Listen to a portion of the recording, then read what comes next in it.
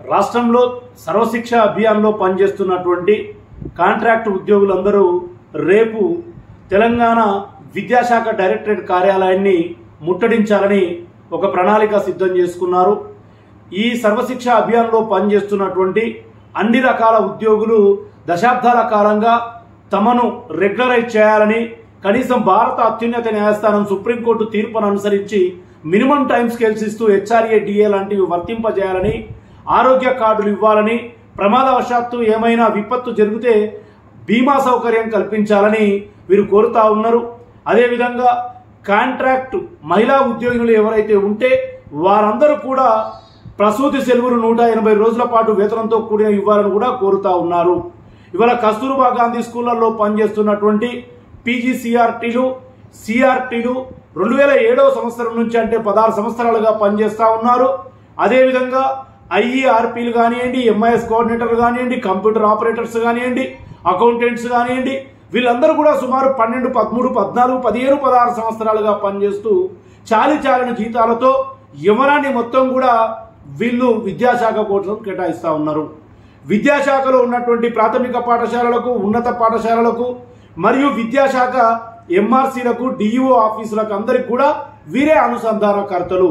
కాబట్టి వీరు ఈరోజు చేస్తున్నటువంటి డిమాండ్ ఏంటంటే మమ్మల్ని కూడా విద్యాశాఖలో భాగంగా రెగ్యులరైజేషన్ చేయండి లేదా విద్యాశాఖలో నింపుతున్నటువంటి పోస్టులన్నింటిలో కూడా ప్రాధాన్యత కల్పించమని కూడా కోరుతా ఉన్నారు.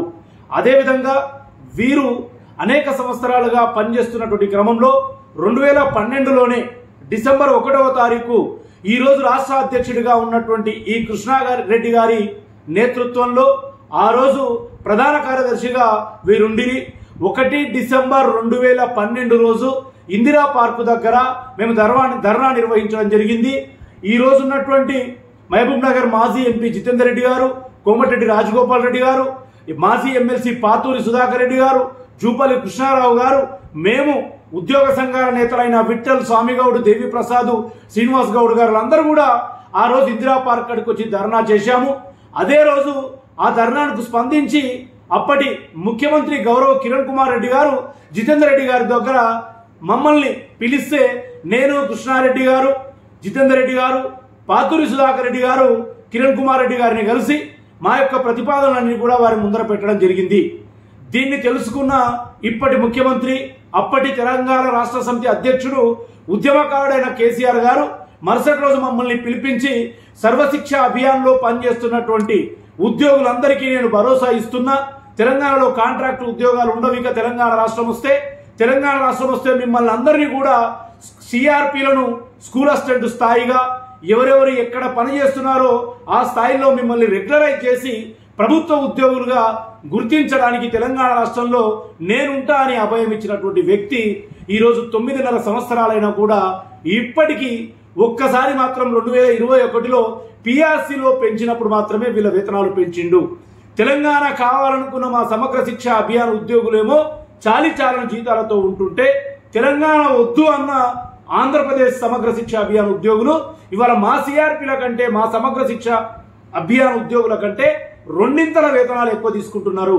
కాబట్టి రేపు జరిగే ధర్నా కార్యక్రమానికి నన్ను ఆహ్వానించడానికి వచ్చినటువంటి కృష్ణారెడ్డి గారితో గత పదిహేను పదహారు సంవత్సరాలలో అనేక సార్లు అనేక దఫాలు అనేక స్థాయిలలో ఉద్యమించడమే కాదు రిప్రజెంటేషన్లు ఇచ్చినటువంటి వ్యక్తిగా రేపు నేను మద్దతు ఇవ్వడమే కాదు మీ మధ్యలో ఉండి మీతో పోరాటం చేస్తానని కూడా ఇవాళ రాష్ట్రంలో ఉన్నటువంటి సమగ్ర శిక్ష అభియాన్లో పనిచేస్తున్న ప్రతి ఒక్క సోదరుడికి సోదరునికి సోదరిమణికి నేను పేరు పేరున తెలియజేస్తా ఉన్నాను. మీ ఆల్రెడీ హర్షవర్ధన్ రెడ్డి. సమగ్ర లో పనిచేస్తున్న కాంట్రాక్ట్ ఉద్యోగులందరినీ రెగ్యులరైజ్ చేయాలని చెప్పి ముఖ్యమంత్రి కేసీఆర్ విజ్ఞప్తి చేస్తున్నాం. గతంలో ముఖ్యమంత్రి గారు అనే తెలంగాణ రాకముందు తెలంగాణ వచ్చిన తర్వాత కాంట్రాక్ట్ ఉద్యోగులందరినీ పర్మనెంట్ చేస్తారు చెప్పి ప్రకటించారు. ఈరోజు వీళ్ళు కేంద్ర ప్రభుత్వం గ్రాంట్ మీద నడుస్తుందని తప్పించుకోవడం సరైనటువంటి కాదు. మనం కొంతమంది నాలుగైదు వేల మంది చేశారు. వీళ్ళు కూడా ఇరవై ఏడు వేల మంది ఉన్నారు.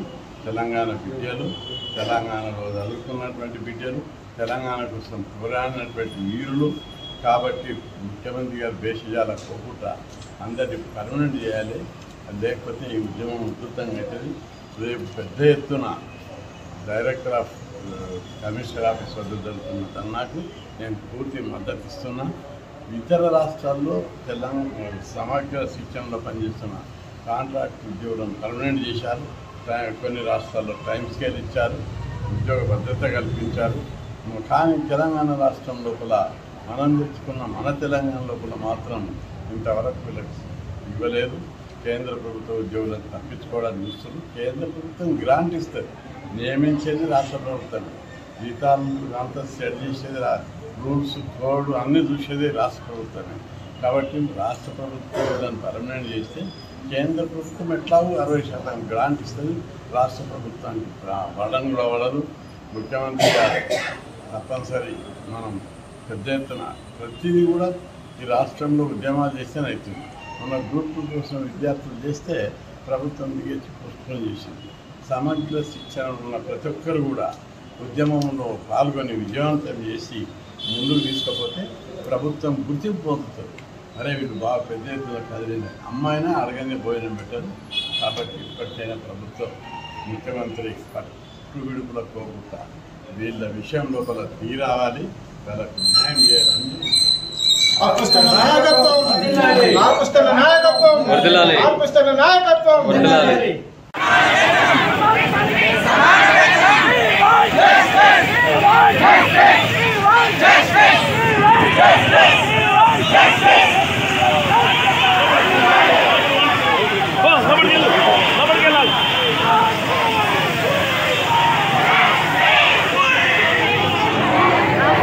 కాబట్టి మరి సమగ్ర శిక్షలో పనిచేస్తున్న ఉద్యోగులు ఎవరైతే అర్హులైన ఉద్యోగులు ఎవరైతే ఉన్నారో డిఎస్సి ద్వారా రిక్రూట్ అయిన ఉద్యోగాలు ఎవరైతే ఉన్నారో వాళ్ళందరూ కూడా పర్మనెంట్ చేయాలని చెప్పేసి కూడా ఈ సందర్భంగా మరి డిమాండ్ చేస్తా ఉన్నది.